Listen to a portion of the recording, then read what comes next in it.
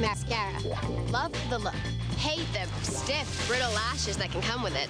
Well, get a feel of this. New Full and Soft Mascara from Maybelline. It's more of those lashes we love.